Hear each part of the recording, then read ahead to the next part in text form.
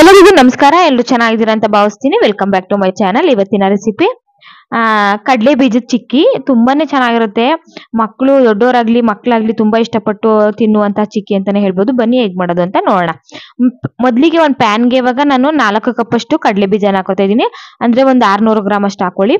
ಹಾಕೊಂಡು low flame ಅಲ್ಲಿ ಇಟ್ಕೊಂಡು ನಾವು ಚೆನ್ನಾಗಿ ಕಡಲೆ ಬೀಜನ ಹುರ್ಕೋಬೇಕಾಗುತ್ತೆ. ಸ್ವಲ್ಪ ಒಂಬಣ್ಣ ಬರಬೇಕು ಕಡಲೆ ಬೀಜ. ಮತ್ತೆ ಸಿಪ್ಪೆ ತಾನಾಗೆ ತಾನು ಬಿಟ್ಕೊಳ್ಳುತ್ತೆ ಅಲ್ಲಿ ತನಕ ನಾವು ಲೋ ಫ್ಲೇಮ್ ಅಲ್ಲಿ ಇಟ್ಕೊಂಡು ಬೇಯಿಸ್ಕೋಬೇಕಾಗುತ್ತೆ. ನೋಡ್ತಾ ಇರ್ಬೋದು ಆಲ್ಮೋಸ್ಟ್ ಆ ರೀತಿ ಆಗ್ತಾ ಇದೆ. ಇವಾಗ ಇಷ್ಟ ಆದ್ರೆ ಸಾಕು ಇವಾಗ. ಇವಾಗ ಇದನ್ನ ಆರೋದಿಕ್ಕೆ ಬಿಟ್ಬಿಡೋಣ ಸ್ವಲ್ಪ ಹೊತ್ತು. ಯಾಕೆಂದ್ರೆ ತಕ್ಷಣ ಮಾಡಕ್ ಹೋದಾಗ ಅದು ಸ್ವಲ್ಪ ಕೈ ಸುಡುತ್ತೆ. ಸ್ವಲ್ಪ ಹಾರದ್ಮೇಲೆ ನಾವು ಕಡಲೆ ಬೀಜದ ಸಿಪ್ಪೆ ಎಲ್ಲಾನು ಚೆನ್ನಾಗಿ ಕೈಯಲ್ಲೇ ಕ್ರಶ್ ಮಾಡ್ಕೊಂಡ್ರೆ ಸಿಪ್ಪೆ ಎಲ್ಲ ಚೆನ್ನಾಗಿ ಬಿಡುತ್ತೆ. ಇಲ್ಲಾಂದ್ರೆ ಒಂದು ಬೌಲ್ನಿಂದ ಈ ತರ ಪ್ರೆಸ್ ಮಾಡ್ಕೊಂಡ್ರೆ ಸಾಕು, ಆರಾಮಾಗಿ ಸಿಪ್ಪೆ ಬಂದ್ಬಿಡುತ್ತೆ. ಈ ನೋಡ್ತಾ ಇರ್ಬೋದು ಈ ರೀತಿಯಾಗಿ ಪ್ರೆಸ್ ಮಾಡ್ಕೊಂಡು ಸಿಪ್ಪೆ ಎಲ್ಲಾನು ಬಿಡಿಸ್ಕೋಬೇಕಾಗುತ್ತೆ. ಬಿಡಿಸ್ಕೊಂಡು ಅದ್ರದ್ದು ಸಿಪ್ಪೆ ಎಲ್ಲ ತೆಗೆದ್ಬಿಡಿ, ತೆಗೆದ್ಬಿಟ್ಟು ಕಡಲೆ ಬೀಜದ ಬೀಜ ಮಾತ್ರ ನಮ್ಗೆ ಬೇಕಾಗುತ್ತೆ. ಈ ರೀತಿಯಾಗಿ ಮಾಡಿ ಇಟ್ಕೊಂಡು ಇದನ್ನ ಇವಾಗ ಬೇಳೆ ಮಾಡ್ಕೋಬೇಕಾಗುತ್ತೆ. ನಮ್ಗೆ ಉಂಡೆ ಬೇಡಿ, ಬೇಳೆ ಬೇಕಾಗುತ್ತೆ. ಅದಕ್ಕೆ ಒಂದ್ಸಲ ಮತ್ತೆ ಒಂದ್ಸಲ ಕ್ರಶ್ ಮಾಡ್ಕೊಳ್ಳಿ. ಈ ರೀತಿ ಬೇಳೆಗಳಾಗಿ ಮಾಡ್ಕೊಂಡು ಒಂದು ಸೈಡ್ ಸೈಡ್ಗೆ ಎತ್ತಿಟ್ಕೋಣ ಇವಾಗ ಒಂದ್ ತಟ್ಟೆಗೆ ಒಂದೊಂದ್ ಎರಡು ಸ್ಪೂನ್ ಅಷ್ಟು ತುಪ್ಪನ ಸಾರ್ಕೋತಾ ಇದೀನಿ ಯಾಕೆಂದ್ರೆ ನಾವು ತಕ್ಷಣ ಮಾಡಿದ ತಕ್ಷಣ ತಟ್ಟೆಗೆ ಹಾಕೋಬೇಕಾಗುತ್ತೆ ಅಲ್ವಾ? ಅದಕ್ಕೆ ಒಂದು ಬೌಲ್ಗೆ ಮತ್ತೆ ಒಂದು ತಟ್ಟೆಗೆ ತುಪ್ಪನ ಸಾವರಿ ಒಂದು ಸೈಡ್ಗೆ ತಿಕ್ಕೋತಾ ಇದ್ದೀನಿ. ಒಂದು ಪ್ಯಾನ್ ಇಟ್ಕೊಂಡಿದ್ದಕ್ಕೆ ಮೂರು ಕಪ್ ಅಷ್ಟು ನಾನು ಬೆಲ್ಲನ ಹಾಕೋತಾ ಇದ್ದೀನಿ. ಅಂದ್ರೆ ಒಂದು ನಾನ್ನೂರು ಗ್ರಾಮ್ ಅಷ್ಟು ಹಾಕೊಳ್ಳಿ. ಹಾಕೊಂಡು ಬೆಲ್ಲನ ಹಾಕೊಂಡು ಒಂದು ಅರ್ಧ ಕಪ್ ಅಷ್ಟು ನೀರು ಹಾಕೊಳ್ಳಿ. ತುಂಬಾ ಜಾಸ್ತಿ ಹಾಕೋದಿಕ್ ಹೋಗೋದ್ ಬೇಡ.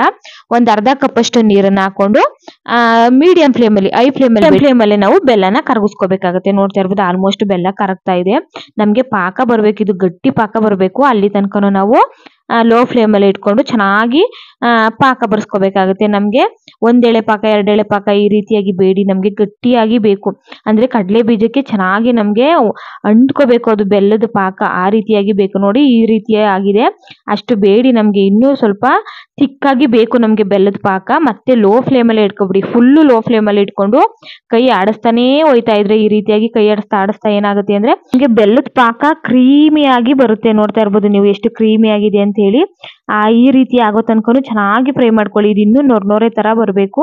ಇವಾಗ ನೋಡ್ತಾ ಇರ್ಬೋದು, ಇವಾಗ ಮತ್ತೆ ಒಂದು ಸ್ವಲ್ಪ ತಣ್ಣೀರನ್ನ ಬಟ್ಲಿಗೆ ಹಾಕೋತಾ ಇದೀನಿ ಹಾಕೊಂಡು ಮತ್ತೆ ನೋಡಿ, ಅದು ನಾವು ಪ್ರೆಸ್ ಮಾಡಿದ್ರೆ ಅದು ತಕ್ಷಣ ಕಟ್ ಆಗಬಾರ್ದು. ನಮಗೆ ಸ್ವಲ್ಪ ಟೈಮ್ ತಗೋಬೇಕು.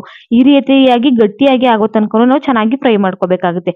ಈಗ ಹಾಗಿದೆ ಕಡಲೆ ಬೀಜಗಳನ್ನ ನಾನು ಕಡಲೆ ಬೀಜದ ಬೇಳೆನ ಹಾಕೋತಾ ಇದೀನಿ ಹಾಕೊಂಡು ಚೆನ್ನಾಗಿ ಮಿಕ್ಸ್ ಮಾಡ್ಕೊಡಿ. ಸ್ಟವ್ನ ಆಫ್ ಮಾಡ್ಬಿಡಿ.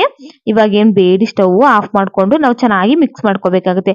ಬೆಲ್ಲದ ಪಾಕ ಮತ್ತೆ ಕಡಲೆ ಬೀಜ ಎರಡು ಒಂದಕ್ಕೊಂದು ಚೆನ್ನಾಗಿ ಬೆರಿಬೇಕು. ಒಂದ್ ಎರಡು ಸ್ಪೂನ್ ಅಷ್ಟು ತುಪ್ಪನ ಹಾಕೊಳ್ಳಿ. ತುಪ್ಪನ ಹಾಕೊಂಡು ಮತ್ತೆ ಚೆನ್ನಾಗಿ ಮಿಕ್ಸ್ ಮಾಡ್ಕೊಳ್ಳಿ. ಒಂದಕ್ಕೊಂದು ಬೆಲ್ಲದ ಪಾಕ ಚೆನ್ನಾಗಿ ಅಂಟ್ಕೋಬೇಕು ಕಡಲೆ ಬೀಜ ತನಕ. ಆ ರೀತಿಯಾಗಿ ಚೆನ್ನಾಗಿ ಮಿಕ್ಸ್ ಮಾಡ್ಕೊಂಡು ಇದನ್ನ ತುಪ್ಪ ಸವರಿ ಇಟ್ಟಿದ್ವಲ್ಲ ಪ್ಲೇಟು ಅದಕ್ಕೆ ಹಾಕೋತಾ ಇದೀನಿ ಹಾಕೊಂಡು ಆ ಬೌಲ್ ಇತ್ತಲ್ಲ, ತುಪ್ಪ ಸವರ್ಕೊಂಡಿದ್ವಲ್ಲ, ಆ ಬೌಲಲ್ಲಿ ಈ ರೀತಿಯಾಗಿ ಪ್ರೆಸ್ ಮಾಡ್ಕೊಂಡ್ರೆ ಸಾಕು. ನೀಟಾಗಿ ಎಲ್ಲಾ ಕಡೆ ಎಡ್ಜ್ ಎಡ್ಜಸ್ಗೂ ಕೂಡ ನೀಟಾಗಿ ಕವರ್ ಆಗುತ್ತೆ. ಈ ರೀತಿಯಾಗಿ ಫ್ಲಾಟ್ ಆಗಿ ನೋಡಿ ಯಾವ ರೀತಿ ಬಂದಿದೆ ಅಂದ್ರೆ ತುಂಬಾನೇ ಚೆನ್ನಾಗಿ ಬಂದಿದೆ. ಕೈಯಲ್ಲೇ ಮಾಡ್ತೀನಿ ಅಂದ್ರೆ ತುಂಬಾ ಸುಟ್ಟು ಸುಡುತ್ತೆ ಕೈ. ಹಂಗಾಗಿ ಈ ಬೌಲಿಂದ ಮಾಡ್ಕೊಳ್ಳಿ. ಸ್ವಲ್ಪ ಹೊತ್ತು ಬಿಟ್ಟಾದ್ಮೇಲೆ ನಾವು ನೀವು ಯಾವ ರೀತಿ ಆದ್ರೂ ಕಟ್ ಮಾಡ್ಕೋಬಹುದು ಅಥವಾ ಚಿಕ್ಕ ಸೈಜು ಅಥವಾ ದೊಡ್ಡ ಸೈಜು ಯಾವ ರೀತಿ ಕಟ್ ಮಾಡ್ಕೊಳ್ಳಿ. ಇನ್ನು ಸ್ವಲ್ಪ ಬಿಸಿ ಇರುವಾಗ್ಲೇನೆ ನಾವು ಕಟ್ ಮಾಡ್ಕೊಬಿಡ್ಬೇಕಾಗುತ್ತೆ. ಆಮೇಲೆ ಕಟ್ ಮಾಡೋದಕ್ಕೆ ತುಂಬಾ ಕಷ್ಟ. ಇವಾಗ ನೋಡ್ತಾ ಇರ್ಬೋದು ಈ ರೀತಿಯಾಗಿ ಕಟ್ ಮಾಡ್ಕೊಂಡು ಒಂದು ಮೂವತ್ತು ನಿಮಿಷ ಇದನ್ನ ಆರೋದಕ್ಕೆ ಬಿಟ್ಬಿಡ್ಬೇಕಾಗುತ್ತೆ, ತಣ್ಣಗಾಗೋದಿಕ್ಕೆ.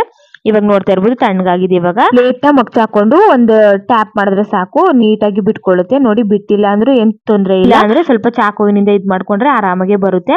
ನೋಡ್ತಾ ಇರ್ಬೋದು ಯಾವ ರೀತಿಯಾಗಿ ಬಂದಿದೆ ಅಂತಾನೆ ತುಂಬಾನೇ ಚೆನ್ನಾಗಿರುತ್ತೆ ಟೇಸ್ಟ್ ಆಗಿರುತ್ತೆ. ಬೇಕಂದ್ರೆ ಸ್ವಲ್ಪ ನೀವು ಏಲಕ್ಕಿ ಪೌಡರ್ನು ಕೂಡ ಹಾಕಬಹುದು ಅದು ಚೆನ್ನಾಗಿರುತ್ತೆ. ನೋಡಿ ಚಾಕುವಿನಿಂದ ಹಿಂಗ್ ಎತ್ತಿದ್ರೆ ಸಾಕು ತುಪ್ಪ ಸಾವಿರೋದ್ರಿಂದ ಸಾಫ್ಟ್ ಆಗಿ ಬಂದ್ಬಿಡುತ್ತೆ ಬೇಗ. ತುಂಬಾ ಏನ್ ಟೈಮ್ ತಗೊಳ್ಳೋದಿಲ್ಲ ನೋಡ್ ನೋಡ್ತಿದ್ದಂಗೆ ರೆಡಿ ಆಗೋಯ್ತು ಅಂತಾನೆ ಹೇಳ್ಬೋದು. ಕಡಲೆ ಬೀಜದ ಚಿಕ್ಕಿ ತುಂಬಾ ಚೆನ್ನಾಗಿರುತ್ತೆ. ಒಂದ್ಸಲ ಟ್ರೈ ಮಾಡಿ ರೆಸಿಪಿ ಇಷ್ಟ ಆಗಿದ್ರೆ ಇಷ್ಟ ಆಗಿದ್ರೆ ಲೈಕ್ ಮಾಡಿ ಶೇರ್ ಮಾಡಿ.